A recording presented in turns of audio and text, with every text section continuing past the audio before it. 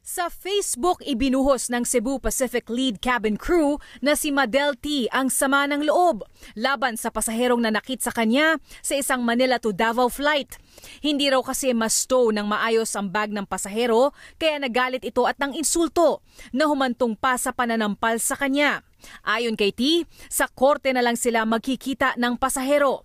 Base naman sa investigasyon ng Cebu Pacific, nagkainitan ang pasahero at isa pang flight attendant bago mag-take off ang flight 5J955 sa NAIA dahil ayaw nitong tumayo para ilagay ang kanyang bag sa overhead cabin. Tinulungan din siyang iakyat ang bag pero paglanding sa Davao sinampal nito si T bago umalis.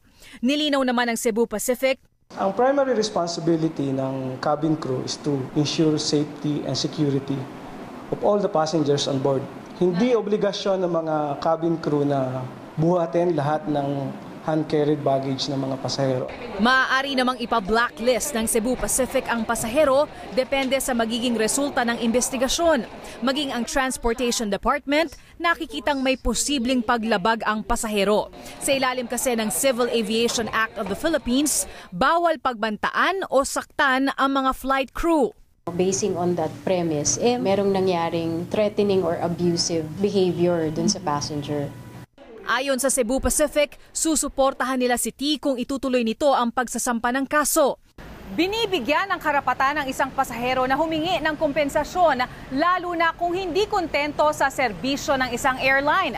Pero kasabay nito ay inaasahan din ang pasahero na alamin ang kanyang mga responsibilidad habang nasa loob ng isang eroplano. Zen Hernandez, ABS-CBN News.